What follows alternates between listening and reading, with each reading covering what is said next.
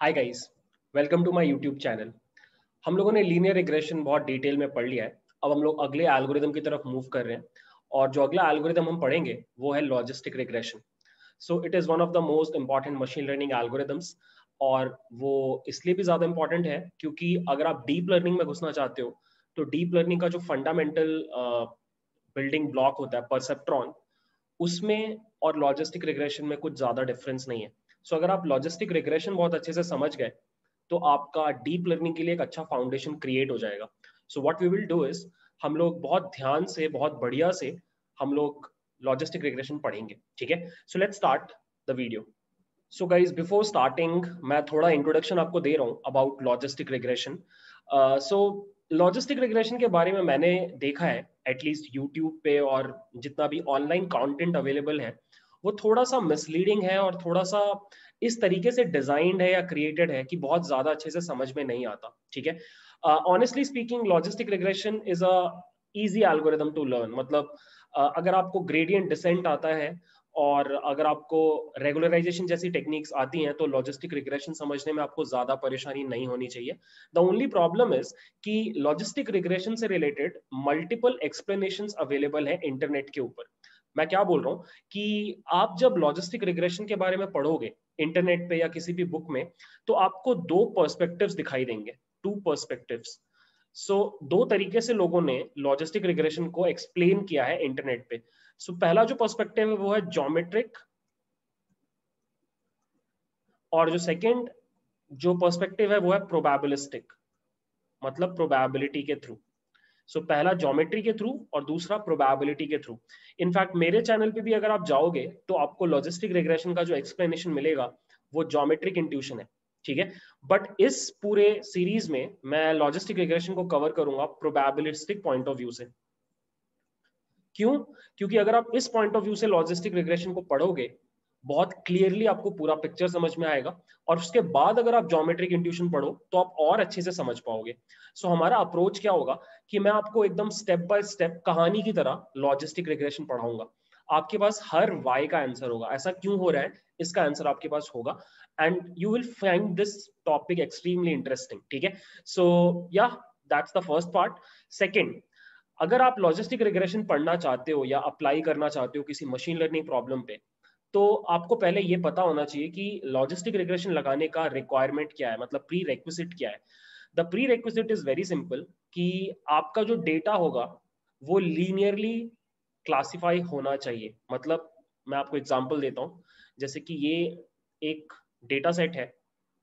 यहाँ पे आप मान सकते हो कि एक्स एक्सिस पे सी जी पी ए है और वाई एक्सिस पे आई क्यू है और ये हर डॉट एक स्टूडेंट को रिप्रेजेंट कर रहा है। ग्रीन डॉट वो स्टूडेंट्स हैं, जिन लोगों का प्लेसमेंट हो गया, और ब्लू डॉट वो स्टूडेंट्स हैं, जिनका प्लेसमेंट नहीं हो पाया। ठीक है? अब मुझे करना क्या है? मुझे एक लॉजिस्टिक रिग्रेशन मॉडल बिल्ड करना है, जो एक नए स्टूडेंट का सीजीपीए और आईक्यू इनपुट लेकर के प्रिडिक्ट करेगा कि उस स्टूडेंट का प्लेसमेंट होगा या नहीं होगा। ठीक है? अब अगर आप इस डेटा को देखो तो यू कैन क्लियरली अंडरस्टैंड कि ये जो डेटा है, ये लीनियरली सेपरेबल है।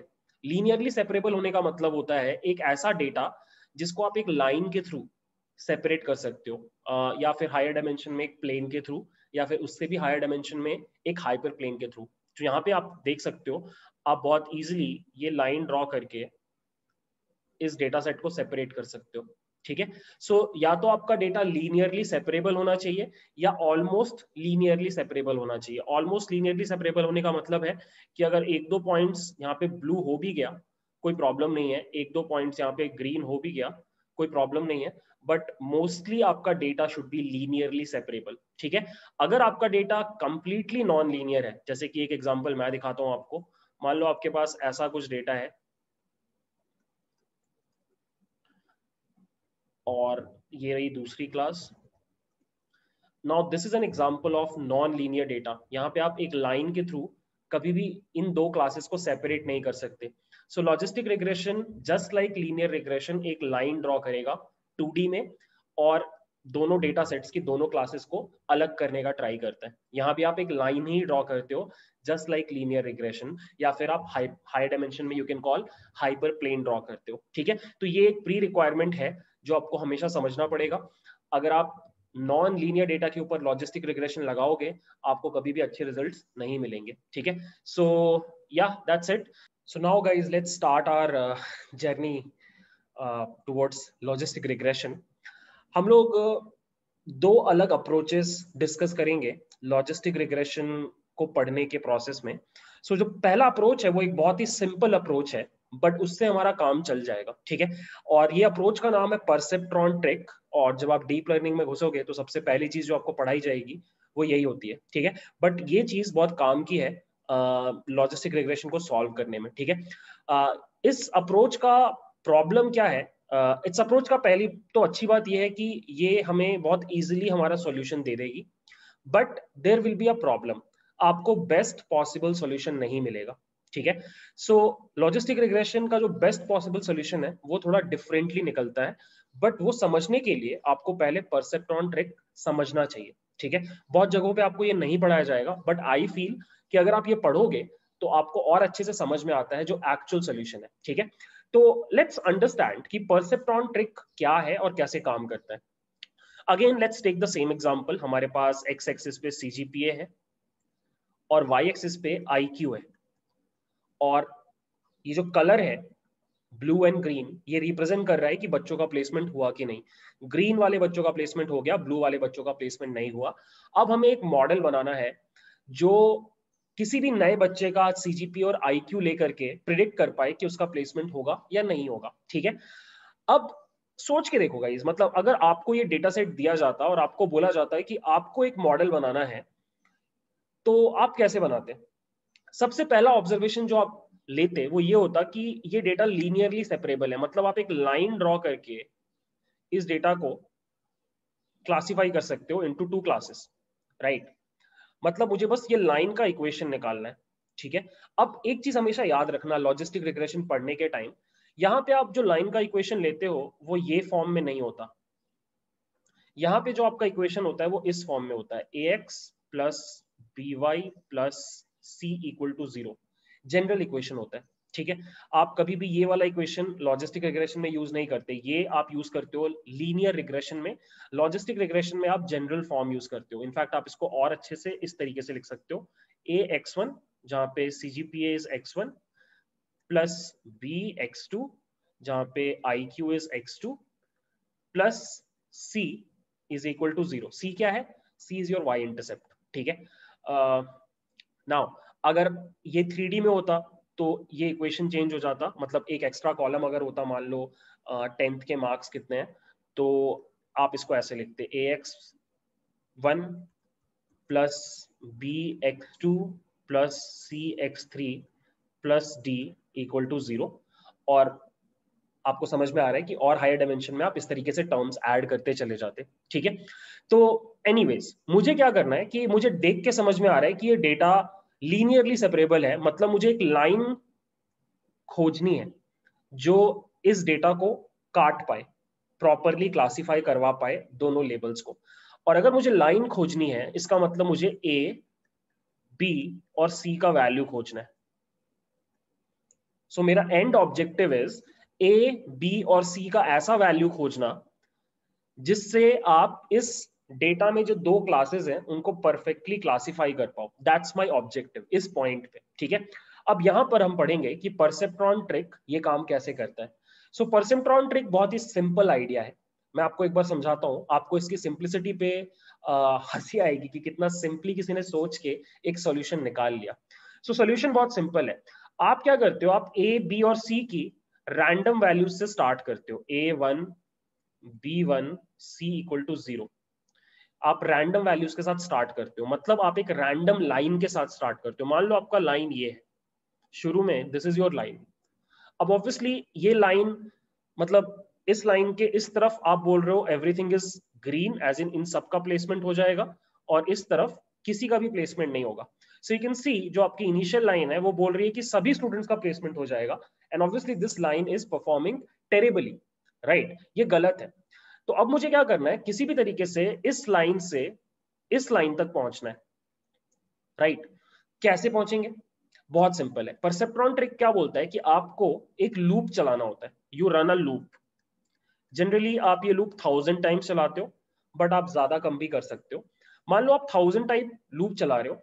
हर बार लूप के अंदर आप क्या करते हो? आप एक रैंडम पॉइंट सेलेक्ट करते हो, एक रैंडम स्टूडेंट सेलेक्ट करते हो।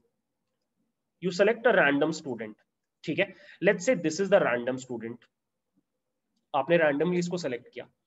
अब हम इस पॉइंट से पूछेंगे कि तुम बताओ, तुम्हारे हिसाब से ये लाइन सही जगह पर है या गलत जगह पे है? अब सोच के देखो, मेरा लाइन बोल रहा है कि इस तरफ़ के सारे पॉइंट्स ग्रीन है। मतलब ये सारे पॉइंट्स ग्रीन है। और हमने इस पॉइंट से जब पूछा तो ये भी ग्रीन निकला।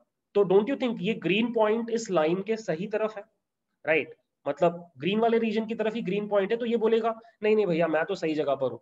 मुझे कोई प्रॉब्लम नहीं है इस लाइन से। जैसी लाइन है, वैसी रहने दो। तो आप कुछ भी नहीं करोगे। आप इस पॉइंट से पूछोगे और ये बोलेगा, सब कुछ ठीक है। तो आप इस इस एबीसी में कोई चेंजेस नहीं करोगे। मतलब इस लाइन को वैसा का वैसा ही रहने दोगे। फिर अगली बार लूप चलेगा।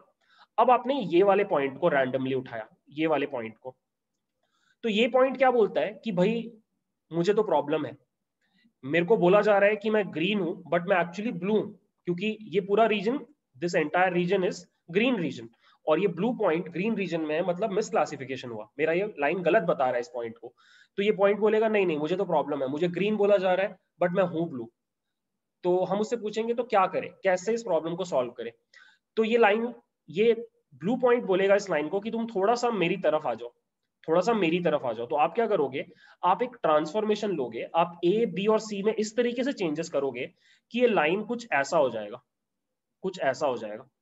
अब देखो, ये जो ब्लू पॉइंट है, ये सही जगह पे आ गया। ये जो ब्लू पॉइंट है, अब ये सही जगह पे आ गया, ठीक है? अब हम फिर से अगले साइकिल में जाएँगे। अब हमने इसको उठाया।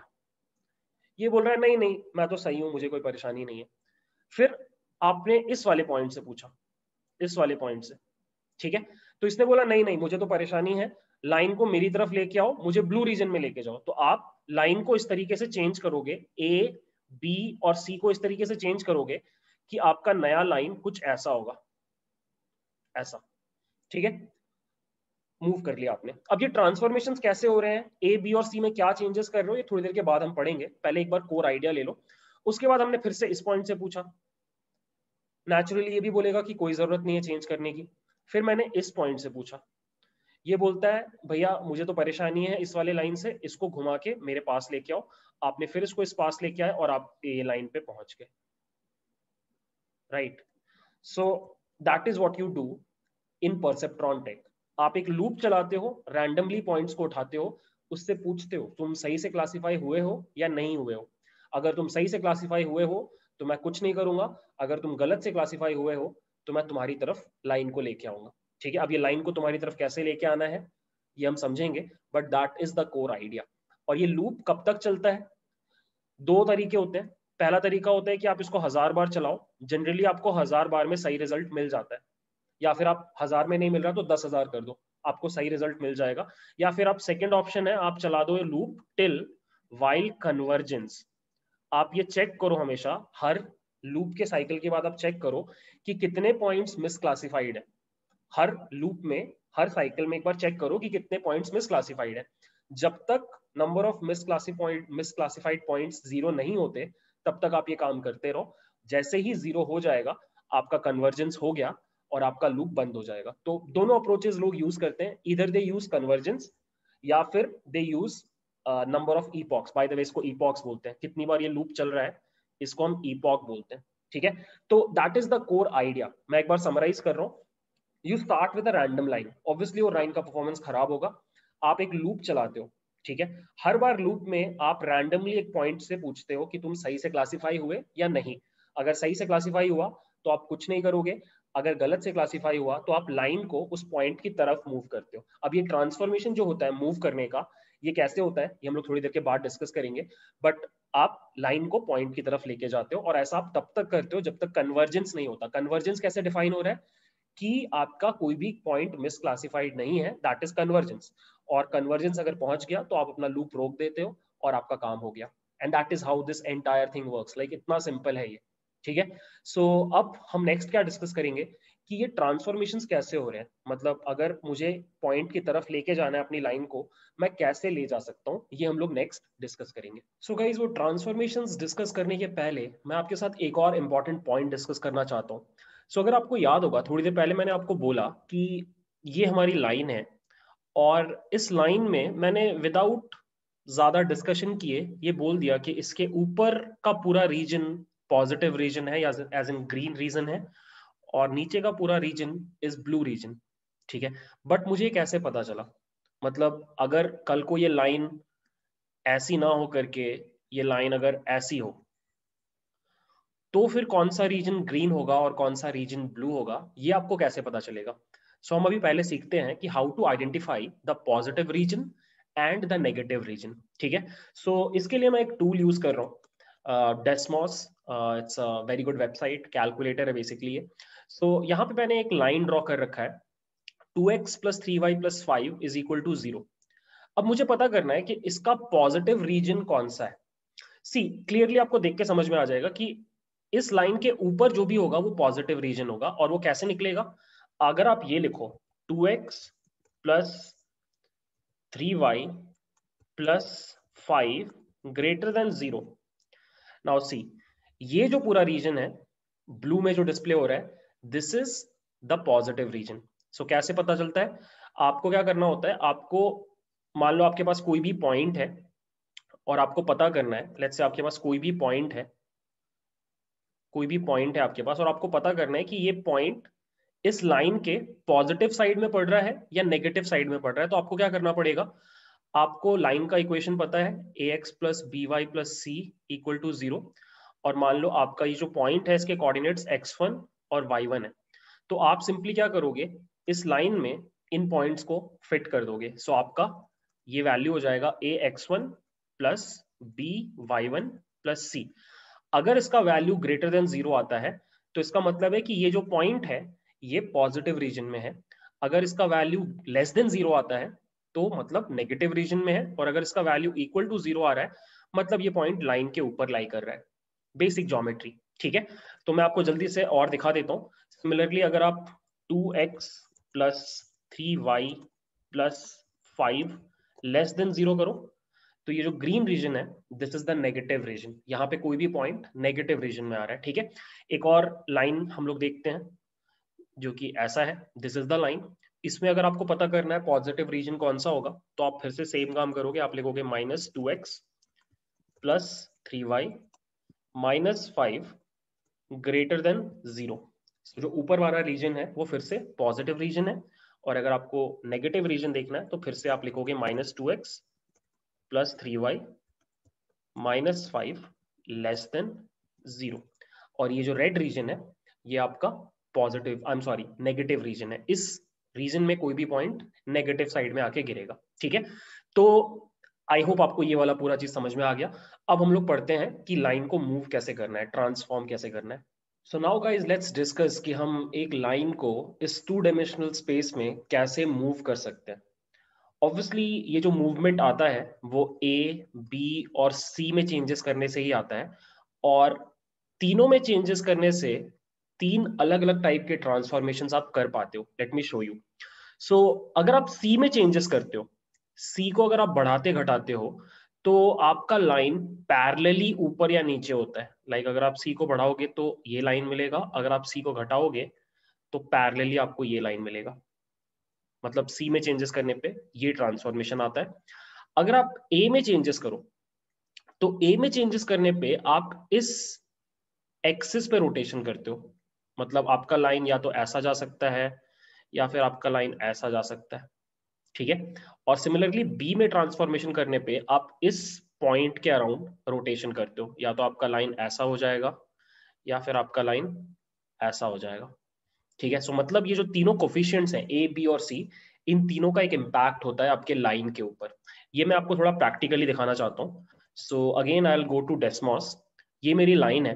पहले मैं आपको दिखाता हूँ कि अगर आप सी में चेंजेस करोगे तो क्या होगा? दो चेंजेस करेंगे सी को बढ़ाएँगे और सी को घटाएँगे। सो so, पहला चेंज सी को बढ़ाने से.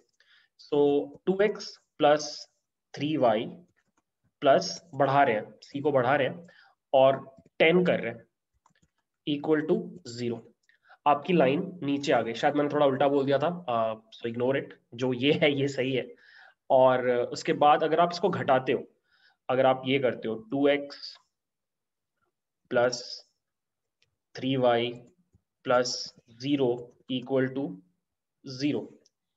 तो ये पर्पल लाइन ऊपर की तरफ़ चली गई। तो जब आप सी को घटा रहे हो तो आप ऊपर जा रहे हो और जब आप बढ़ा रहे हो तो नीचे जा रहे हो। ठीक है, ये ट्रांसफॉर्मेशन आपको याद रखना है। This is the first one now let's see ये ए वाले कोफिशियंट में क्या होता है? एक्स के साथ जो कोफिशियंट है।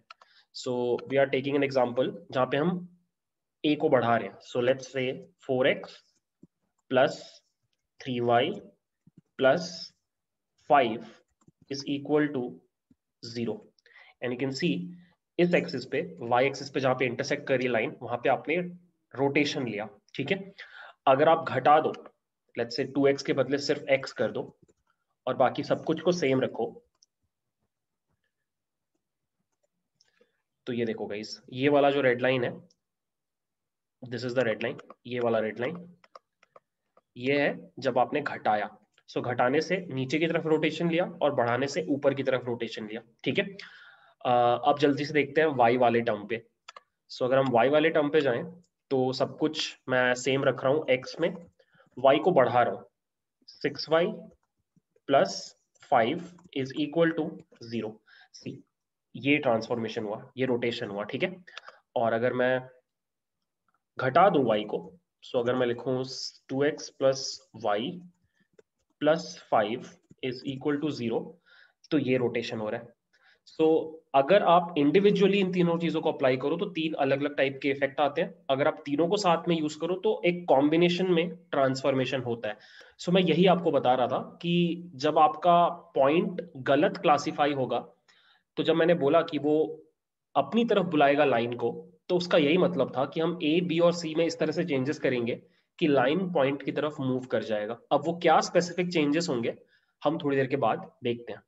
सो नाउ गाइज़ हमें पता है ट्रांसफॉर्मेशन क्या करते हैं हमारे लाइन के साथ। अब हम लोग देखते हैं कि एग्जैक्टली exactly क्या ट्रांसफॉर्मेशन अप्लाई करना है, ठीक है? सो मैंने एक छोटा डेटा सेट लिया है, जिसमें सिर्फ़ चार पॉइंट्स हैं। दो ग्रीन दो ब्लू और ये मेरा रेड लाइन है, और इसके इस तरफ़ ग्रीन रीजन है और इसके इस तरफ़ ब्लू रीजन है। सो यू कैन सी इस पॉइंट पे दो पॉइंट्स हैं जो मिस क्लासिफाइड है। पहला पॉइंट तो ये है, क्योंकि ये ब्लू पॉइंट है ग्रीन रीजन में मिस क्लासिफाइड है। और दूसरा ये ये है ग्रीन पॉइंट ब्लू रीजन में, ठीक है? तो ये भी मिस क्लासिफाइड है। अब देखो, होगा क्या कि अगर आप इस पॉइंट के रिस्पेक्ट में बात करो तो ये पॉइंट सिंस सही जगह पर है ये हमें कोई भी ट्रांसफॉर्मेशन अप्लाई करने को नहीं बोलेगा। And same goes with this point since ये भी सही रीजन में है यहाँ पे भी कोई ट्रांसफॉर्मेशन अप्लाई नहीं करना पड़ेगा। ट्रांसफॉर्मेशन हमें इन दोनों पॉइंट्स के केस में करना पड़ेगा। सो so, पहले हम इसका केस देखते हैं। सो so, इसके केस में मुझे इस लाइन को इस डायरेक्शन में मूव करना है। इस डायरेक्शन में। ठीक है? मान लो इस लाइन का इक्वेशन है two x plus three y plus five equal to zero और मान लो इस पॉइंट का कोऑर्डिनेट्स हैं फोर कॉमा फाइव अब अगर आपको इस लाइन को इस डायरेक्शन में मूव करना है तो परसेप्ट्रॉन ट्रिक क्या बोलता है कि आप इस कोऑर्डिनेट में लास्ट में एक फाइव एक वन ऐड कर दोगे लाइक like दिस और फिर आप क्या करोगे, इस लाइन के तीनों कोऑर्डिनेट्स को लिखोगे टू थ्री फाइव और उसमें से ये नंबर्स को सब्ट्रैक्ट कर दोगे। फोर फाइव वन और आप ये सब्ट्रैक्ट करोगे तो आपको मिलेगा माइनस टू माइनस टू और फोर ठीक है? I guess I am correct या और इसके आगे आप एक्स लगा दोगे यहाँ पे वाई लगा दोगे और यहाँ पे प्लस लगा दोगे इक्वल टू ज़ीरो ये आपका नया लाइन है। सो so, अगर आप इसको प्लॉट करके देखोगे तो मोस्ट लाइकली ये लाइन इस तरीके से ट्रांसफॉर्म होगा कि इस पॉइंट को नेगेटिव में ले जाएगा। जैसे अभी ये पॉजिटिव रीजन में है, इस लाइन के लिए ये वाला पॉइंट ऑटोमेटिकली नेगेटिव रीजन में आ जाएगा, ठीक है? अब बात करते हैं इस पॉइंट का।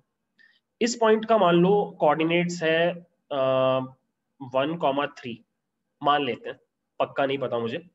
अब जब आपको लाइन को इस डायरेक्शन में मूव करना होता है तो भी आप सेम काम करते हो। पहले तो इस कोऑर्डिनेट को ट्रांसफॉर्म करोगे वन थ्री वन और फिर से आप कोऑर्डिनेट्स को लिखोगे टू थ्री फाइव ये हमारी जो लाइन है, इसके कोऑर्डिनेट्स को मैंने लिखा कोऑर्डिनेट्स नहीं कोफिशियंट्स को लिखा। और फिर मैंने वन थ्री वन को यहाँ पे लिखा। बट इस बार आप प्लस करते हो, हमेशा याद रखना, जब आपको लाइन को नेगेटिव डायरेक्शन में मूव करना है नेगेटिव रीजन की तरफ़ मूव करना है तो आप प्लस करोगे। और जब आपको पॉजिटिव रीजन की तरफ़ मूव करना है तो आप माइनस करोगे, ठीक है? प्लस करने पे ये आ जाएगा three x plus six y plus six equal to zero ये मेरी नई लाइन हो जाएगी। और अगर आप इस लाइन को प्लॉट करोगे तो यू वुड सी कि अब ये वाला जो पॉइंट है ये इस लाइन के पॉजिटिव रीजन में होगा। ठीक है? ये पूरा डेमोन्स्ट्रेशन मैं आपको डेस्मॉस पे दिखाता हूँ। सो so, यहाँ पर देखो। मेरे पास ये लाइन है two x plus three y plus five और मेरे पास ये दो पॉइंट्स हैं फाइव टू और माइनस थ्री टू अब मान लो कि ये एक्चुअली नेगेटिव पॉइंट था और ये पॉजिटिव रीजन में है। अभी मुझे इसको क्या करना है? इस लाइन को ऐसे चेंज करना है कि ये नेगेटिव पॉइंट नेगेटिव रीजन में चला जाए। तो मैं क्या करूँगा? मैं फाइव टू और वन सब्ट्रैक्ट कर दूँगा यहाँ से। सो मैंने वही किया। पहले मैंने टू एक्स में से फाइव सब्ट्रैक्ट किया तो माइनस थ्री आ गया। फिर मैंने टू माइनस थ्री वाई किया तो यहाँ पे वन आ गया और वन माइनस फाइव किया तो फोर आ गया। ये मेरी लाइन थी और ये देखो गाइस अगर आप पहली लाइन को पकड़ो, अगर आप इस लाइन को पकड़ो तो इस लाइन के लिए ये पॉइंट पॉजिटिव रीजन में था। बट अगर आप इस लाइन को पकड़ो, मैं इस लाइन को ऑफ़ कर रहा हूँ तो इस लाइन के लिए ये वाला पॉइंट नेगेटिव रीजन में I can actually show you this I just copy this और मैं लिखूँगा less than zero and you can see ये पॉइंट अब नेगेटिव रीजन में चला गया। ठीक है? अब ये सेम डेमोन्स्ट्रेशन हम देखते हैं। इस पॉइंट के ऊपर। मान लो ये हमारी ओरिजिनल लाइन थी और ये हमारा पॉइंट था। अब ऐसा मान लो कि ये पॉइंट एक पॉजिटिव पॉइंट है बट ये नेगेटिव रीजन में फंसा हुआ है। सो so, मुझे अब इस लाइन के ऊपर एक ट्रांसफॉर्मेशन करना है जिससे ये पॉजिटिव रीजन में चला जाए। ठीक है? ट्रांसफॉर्मेशन क्या है? इसके आगे एक वन लगा के हमें ऐड कर देना है। ठीक है? तो माइनस थ्री को जब आप ऐड करोगे टू से तो आपको माइनस वन मिलेगा। माइनस टू को जब आप ऐड करोगे थ्री वाई से तो आपको प्लस वन मिलेगा। और जब आप वन को ऐड करोगे फाइव में तो आपको सिक्स मिलेगा। और इसको मैंने जब रन किया तो ये देखो गाइस ये लाइन है वो। अगर मैं इसको हटा दूँ तो अब ये जो पॉइंट है, इस लाइन के रिस्पेक्ट में ये पॉजिटिव रीजन में है। Again I can show this so I just copy I will paste और यहाँ पे मैं लिख दूँगा ग्रेटर देन और इसको शो कर देंगे एंड यू कैन सी अब ये पॉजिटिव रीजन में है। So that is how transformation happens in perceptron trick आप ये सिंपल ट्रांसफॉर्मेशन अप्लाई करते हो, मैं एक बार समराइज कर रहा हूँ। अगर एक नेगेटिव पॉइंट पॉजिटिव रीजन में है तो आप उसके कोऑर्डिनेट्स में लास्ट में वन लगा करके लाइन के कोफिशियंट से सब्ट्रैक्ट करोगे, ठीक है? और अगर आपका पॉजिटिव पॉइंट नेगेटिव रीजन में है तो आप फिर से कोऑर्डिनेट्स के आगे एक वन लगा करके इस बार आप ऐड करोगे, तब ये ट्रांसफॉर्मेशन होता है। अब एक लास्ट चीज़ मशीन लर्निंग में कभी भी आप इस तरह के बड़े ट्रांसफॉर्मेशन एक सिंगल स्टेप में अप्लाई नहीं करते। जैसे पहले मेरा लाइन ये था और उसके बाद सीधे मेरा लाइन ये बन गया। मतलब बहुत बड़ा ट्रांसफॉर्मेशन हुआ। आप इतना बड़ा ट्रांसफॉर्मेशन कभी भी अप्लाई नहीं करते। इंस्टेड आप क्या करते हो? आप एक छोटा नंबर लेते हो, जिसको हम लर्निंग रेट बोलते हैं। लर्निंग रेट और ये लर्निंग रेट जनरली होता है पॉइंट ज़ीरो वन या फिर कभी कभी पॉइंट वन होता है डिपेंडिंग ऑन द डेटा अब आप क्या करते हो, जब आप ये सब्ट्रैक्शन कर रहे हो तो आप डायरेक्टली वन थ्री और वन से सब्ट्रैक्ट ना करके आप point zero one point zero three और पॉइंट ज़ीरो वन से मल्टीप्लाई करोगे। सो so बेसिकली आपने कोऑर्डिनेट्स को पकड़ा और उसको लर्निंग रेट से मल्टीप्लाई कर दिया और फिर सब्ट्रैक्ट किया। सो so अगर मैं फॉर्मूला लिख के आपको बताऊँ तो फॉर्मूला कुछ ऐसा रहेगा कि आपके जो नए कोफिशियंट्स हैं वो निकलेंगे कैसे? पुराने coefficient minus learning rate times आपका जो भी कोऑर्डिनेट्स है। ठीक है? सो so, पहले आपको सारे कोऑर्डिनेट्स को लर्निंग रेट से मल्टीप्लाई करना है और फिर पुराने वाले कोफिशियंट से सब्ट्रैक्ट करना है तब आपको नए कोफिशियंट्स मिलते हैं। ठीक है? सो so, इससे क्या होता है कि आपका जो चेंज होता है वो बहुत ग्रेजुअल होता है। सोच के देखो। अगर मैं यहाँ पे ये लिखू पॉइंट ज़ीरो वन और यहाँ पे भी लिखूं पॉइंट ज़ीरो वन और यहाँ पे भी लिखूं पॉइंट ज़ीरो सिक्स ओ नहीं मैं गलत कर रहा हूँ सॉरी हमें ये नंबर्स को सब्ट्रैक्ट करना है इसमें से। तो एक्चुअली ये मतलब सब्ट्रैक्ट करके देख लेना आप मतलब अभी मुझे करना पड़ेगा डेसिमल में सब्ट्रैक्शन डिफ़िकल्ट लगता है मुझे।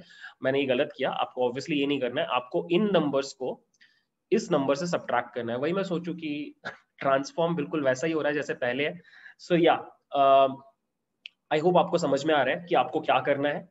Uh, आपको परसेप्ट्रॉन ट्रिक में ये पूरा ट्रिक अप्लाई करना है, ठीक है? Now we understand the transformation अब मैं आपको एक एल्गोरिदम लिख के बताता हूँ, जिससे आपको देख करके समझ में आएगा कि एग्जैक्टली स्टेप बाय स्टेप क्या करना है सो so दैट हम उसको कोड में कन्वर्ट कर पाए। चलो गाइस फिर हम लोग एक एल्गोरिदम लिख रहे हैं, और बेसिकली परसेप्ट्रॉन ट्रिक को कैसे कोड करना है, उसके लिए हम एक एल्गोरिदम लिख रहे हैं, और फिर हम उसको कोड करेंगे, ठीक है? तो एल्गोरिदम लिखने के पहले मुझे थोड़ा सा नोटेशन वगैरह इंट्रोड्यूस करना पड़ेगा उसकी वजह से फिर कोडिंग इजी हो जाएगा।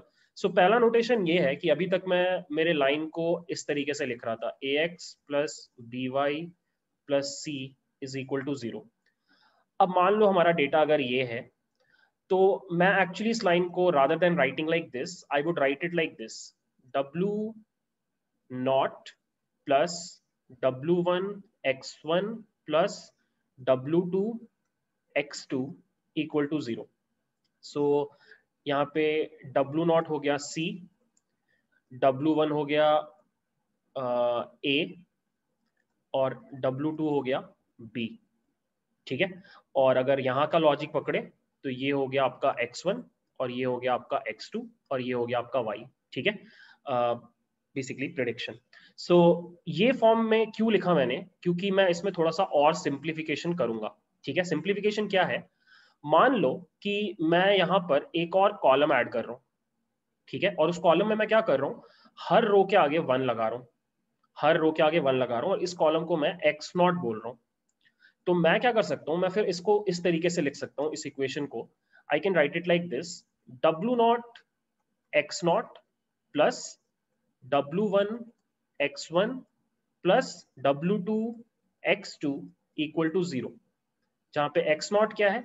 इट्स बेसिकली दिस कॉलम जहाँ पे हमेशा वैल्यू वन रहेगा। सो एक्स नॉट को आप वन से रिप्लेस कर दो तो भी सेम बात है। जैसे आप एक्स नॉट को वन से रिप्लेस करोगे, आपको ये इक्वेशन मिल जाएगा, ठीक है? ऐसे क्यों लिखा मैंने? क्योंकि मैं इसको और सिंप्लीफाई करके ऐसे लिखना चाहता हूँ। I is equal to zero से लेके two W I x I equal to zero अब ये जनरल इक्वेशन हो गया हमारी लाइन का, और ये आप कितने भी और कॉलम्स ऐड करते जाओ, ये इक्वेशन आपका काम करता जाएगा। So this is the equation ठीक है? अब एक क्वेश्चन का आंसर करते हैं। ये मेरा मॉडल है, ठीक है? जब मैंने लीनियर रिग्रेशन अप्लाई किया सॉरी लॉजिस्टिक रिग्रेशन अप्लाई किया तो ये मेरा मॉडल निकला। This is the model W I x I equal to zero यहाँ पे I is equal to zero से लेके टू तक है हम लोग। तो हमारे पास डब्ल्यू नॉट डब्ल्यू वन और डब्ल्यू टू इन तीनों का वैल्यू है, ठीक है? अब सवाल ये आता है कि यहाँ पे ये प्रिडिक्शन कैसे करेगा? ये जो मॉडल है, ये प्रिडिक्शन कैसे करेगा? बहुत सिंपल है। आप क्या करोगे? आप कोई भी पॉइंट के ऊपर अगर आप प्रिडिक्शन करना चाहते हो, जैसे कि लेट्स से आप इस पॉइंट के ऊपर प्रिडिक्शन करना चाहते हो, इस पॉइंट के ऊपर, इस स्टूडेंट के बारे में प्रिडिक्शन करना चाहते हो तो आप क्या करोगे? आप सिंपली ये लिखोगे। आप लिखोगे W naught in fact I change the pen you would write W naught multiplied by इस स्टूडेंट का x नॉट का value one plus W one times इस स्टूडेंट के CGPA का value 7.5 plus W two multiplied by इस student का IQ का value ठीक है? अब हमारे पास W नॉट का वैल्यू है W वन का वैल्यू है W टू का भी वैल्यू है क्योंकि हमारा मॉडल बन चुका है। तो ये नंबर कुछ एक नंबर आएगा राइट right? अब अगर वो number greater than equal to zero है तो मेरा मॉडल प्रिडिक्ट करेगा कि प्लेसमेंट हो जाएगा। लेकिन अगर लेस देन ज़ीरो आएगा तो मेरा मॉडल प्रिडिक्ट करेगा प्लेसमेंट नहीं होगा ठीक है? सो so, इसका मतलब मुझे कुछ नहीं करना है। मुझे बेसिकली अपने किसी भी एक स्टूडेंट का सीजीपीए आईक्यू लेना है और उसके आगे वन लगा देना है। और उसको मेरे कोफिशियंट्स के साथ डॉट प्रोडक्ट कर देना। अगर आप ध्यान से समझो इस चीज़ को तो ये डॉट प्रोडक्ट है। मतलब अगर आप चाहो तो इसको मैट्रिक्स के फॉर्म में रिप्रेजेंट कर सकते हो। W naught W one W two और इसको आप लिख सकते हो x naught x one x two जब आप ये डॉट प्रोडक्ट करोगे तो आपको एग्जैक्टली exactly सेम चीज़ मिलेगी। W naught x naught W one x one plus W two x two अब ये नंबर अगर पॉजिटिव है तो प्रिडिक्शन वन होगा। अगर नेगेटिव है तो प्रिडिक्शन ज़ीरो होगा। That is how the entire prediction वाला चीज़ इज़ वर्किंग ठीक है? सो so ये पूरी चीज़ मैंने इसलिए समझाई, क्योंकि अभी जो हम एल्गोरिदम लिखेंगे, उसमें आपको ये समझने में इजी पड़ेगा। ध्यान से देखो। एल्गोरिदम बहुत सिंपल है। एल्गोरिदम ये है कि आप एक ईपॉक वैल्यू डिसाइड करोगे। You will decide epoch value generally thousand रहता है। और हम एक लर्निंग रेट डिसाइड करेंगे ईटा पॉइंट ज़ीरो वन फिर हम एक लूप चलाएँगे for i in range of epochs. मतलब ये लूप हज़ार बार चलेगा, ठीक है? अब इस लूप के अंदर I will randomly select a point randomly select a point और स्टूडेंट मेरे ट्रेनिंग डेटा में जितने भी स्टूडेंट्स थे, उनमें से किसी को भी रैंडमली मैं सेलेक्ट कर लूँगा। और फिर आई विल चेक इफ़ एक और चीज़, मैं क्या कर रहा हूँ कि मैं ऊपर जा करके, मैं वापस आता हूँ एल्गोरिदम पे, मैं एट द एंड होगा क्या कि ये मेरा मॉडल है और इसके दोनों तरफ़ पॉइंट्स होंगे। इस तरीके से ये वो स्टूडेंट्स है जिनका प्लेसमेंट नहीं हुआ और ये वो स्टूडेंट्स है जिनका प्लेसमेंट हो गया। ठीक है? तो अब इस मॉडल के हिसाब से ये जो पूरा रीजन है, ये जो पूरा रीजन है, ये जो पूरा रीजन है, ये पॉजिटिव रीजन है। ठीक है? दिस इज़ पॉजिटिव रीजन ठीक है? और ये जो पूरा रीजन है this entire region this is the negative region मेरे मॉडल के हिसाब से। This is the negative region ठीक है? सो अगर कोई भी पॉइंट अब जैसे कि अगर हम इस पॉइंट का बात करें, ये जो स्टूडेंट है, इसका एक्चुअली प्लेसमेंट हुआ। तो ये एक्चुअली एक पॉइंट है x I which belongs to the positive region ठीक है? वेर एज अगर मैंने ये लिखा, जैसे कि ये स्टूडेंट है तो ये एक्चुअली एक स्टूडेंट है which belongs to the negative region ठीक है? अब ध्यान से देखो, मैं क्या कर रहा हूँ? I am going down and I am writing this मैंने लूप चलाया मैंने रैंडमली एक स्टूडेंट को उठाया और मैंने उसके ऊपर एक कंडीशन चेक किया। कंडीशन क्या है कि if the student that I selected the row that I selected belongs to negative region ध्यान से सुनना। अगर ये बंदा ऐसा है जिसका एक्चुअली प्लेसमेंट नहीं हुआ था एंड जब मैंने मॉडल के ऊपर इसका डेटा डाल के ये कैलकुलेट किया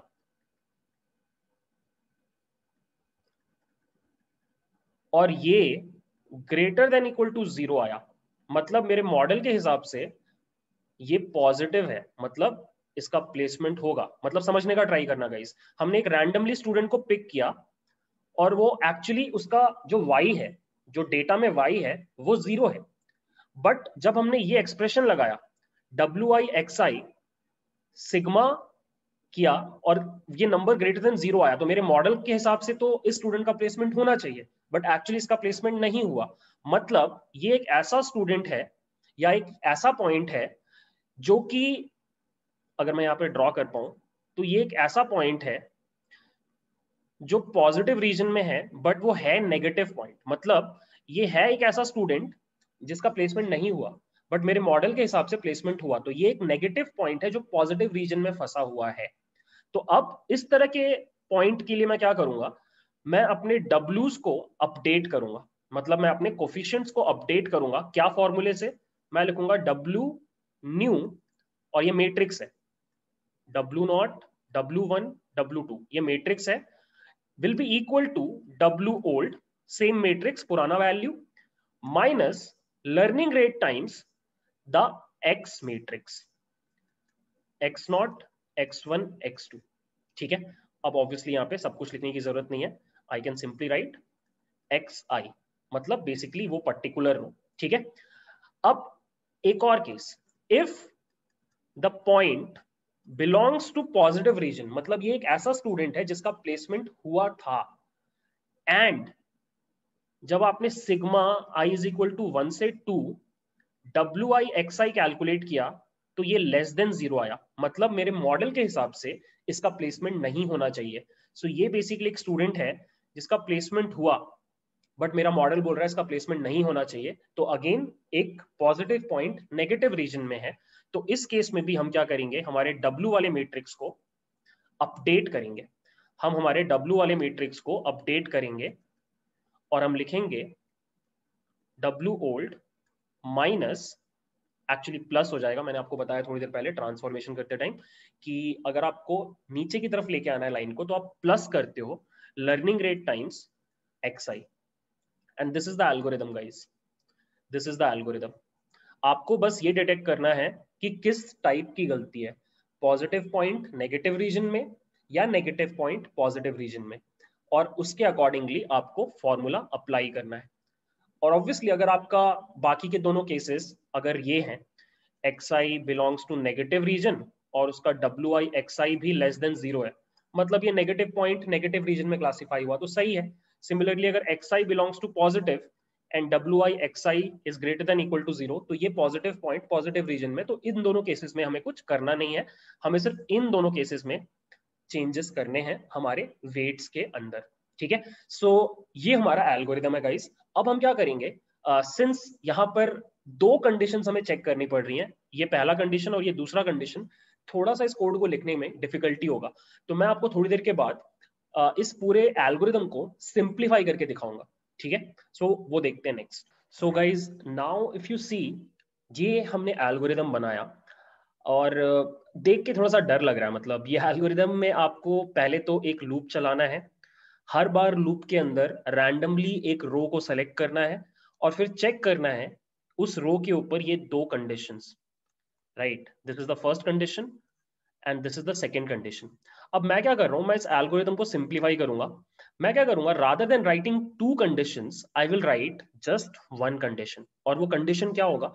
वो कंडीशन ये होगा कि आपका अपडेट जो आप करोगे अपने कोफिशियंट्स के ऊपर, वो आप इस तरीके से निकालोगे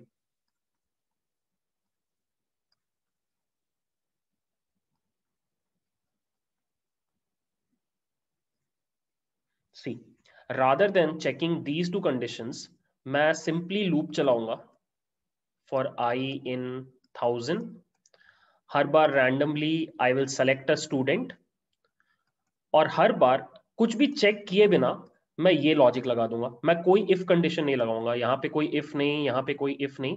मैं डायरेक्टली ये अपडेट रूल लगाऊँगा। अब ये अपडेट रूल क्यों काम करेगा? मैं आपको बताता हूँ। एक केस लेते हैं, चार केसेस लेते हैं। Y i hat and this is y i minus y i मान लो, एक ऐसा स्टूडेंट है जिसका प्लेसमेंट हुआ, हमारे मॉडल ने भी बोला, उसका प्लेसमेंट हुआ। एक ऐसा स्टूडेंट है जिसका प्लेसमेंट नहीं हुआ, हमारे मॉडल ने भी बोला, उसका प्लेसमेंट नहीं हुआ। एक ऐसा स्टूडेंट है जिसका प्लेसमेंट हुआ बट मेरे मॉडल ने बोला नहीं हुआ। और एक ऐसा स्टूडेंट है जिसका प्लेसमेंट नहीं हुआ बट मेरे मॉडल ने बोला प्लेसमेंट हुआ। राइट यही चार केसेस है। राइट यही चार कॉम्बिनेशन एग्जिस्ट करते हैं। अगर मैं y i minus y hat निकालू तो पहले केस में इट विल बी ज़ीरो दूसरे केस में it will be zero last case में सेकेंड लास्ट केस में इट वुड बी वन और सबसे लास्ट केस में it would be minus one right अब देखते हैं गाइस अब मानो पहला केस उठाते हैं कि एक ऐसा स्टूडेंट है जिसका प्लेसमेंट हुआ और मेरे मॉडल ने भी बोला उसका प्लेसमेंट हुआ। मतलब हमने जो रैंडमली स्टूडेंट को चूज़ किया, वो एक ऐसा स्टूडेंट निकला जिसका प्लेसमेंट हुआ था और मेरे मॉडल के हिसाब से भी उसका प्लेसमेंट होना चाहिए। तो ये पूरा टर्म ज़ीरो हो जाएगा।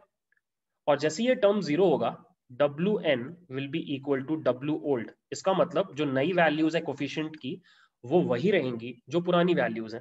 मतलब कोई चेंज नहीं होगा राइट right? अब एक और केस लेते हैं। अब आपने एक ऐसे स्टूडेंट को रैंडमली उठाया जिसका प्लेसमेंट नहीं हुआ था और आपका मॉडल भी बोल रहा है कि प्लेसमेंट नहीं हुआ है, ठीक है?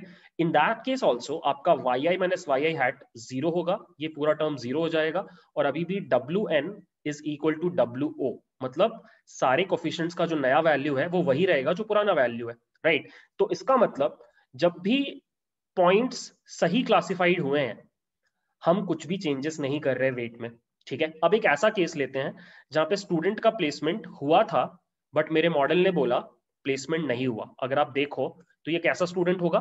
इसका प्लेसमेंट हुआ था मतलब ये पॉजिटिव बंदा है नेगेटिव रीजन में मतलब ये स्टूडेंट ये स्टूडेंट ठीक है? या फिर आप बोल सकते हो, ये स्टूडेंट ये वाला, ठीक है? पॉजिटिव रीजन में है ये बंदा एक्चुअली डेटा में बट इसका ये लेस देन ज़ीरो आ रहा है मतलब मेरा मॉडल गलत क्लासिफाई कर रहा है। तो अब अगर हम यहाँ पे जाएँ तो क्या होगा? ये पूरा टर्म रिप्लेस हो जाएगा विथ वन ठीक है? और ये इक्वेशन कैसे कन्वर्ट हो जाएगा? ये बन जाएगा W N is equal to W O plus learning rate times X I which is exactly this ठीक है? अब एक लास्ट केस एक ऐसा स्टूडेंट जिसका प्लेसमेंट नहीं हुआ था बट मेरा मॉडल बोल रहा है प्लेसमेंट होगा। मतलब ये बंदा। Negative point in the positive region अब इस केस में क्या हुआ? Y i minus y i hat का वैल्यू कितना हो जाएगा? माइनस वन उसकी वजह से ये इक्वेशन क्या बन जाएगा? ये बन जाएगा W N is equal to W old minus learning rate times X I see हम इस स्टूडेंट का बात कर रहे थे, जो ऑलरेडी नेगेटिव में था बट मेरे मॉडल के हिसाब से पॉजिटिव में है। तो उसका अपडेट रूल ये है।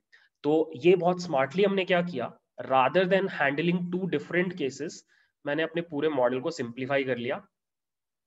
लाइक like दिस ठीक है? अब मुझे ये इतना बड़ा करने की ज़रूरत नहीं है। कैलकुलेशन हम सिर्फ़ ये एक सिंगल रूल लगाएँगे। सो so, जो हमारा अपडेटेड एल्गोरिदम है वो ये है। मैं यहाँ पे लिख देता हूँ। जो हम कोड करेंगे हम लिखेंगे for i in range of epochs epochs का value thousand select a random student i और हर बार कोफिशियंट्स को अपडेट करेंगे using this rule and that's my code बस मुझे इतना ही कोड लिखना है गाइस यही कोड हम लिखेंगे और हमारा काम हो जाएगा, ठीक है? अब हम क्या करते हैं? जाते हैं जुपिटर में और इसको कोड करते हैं।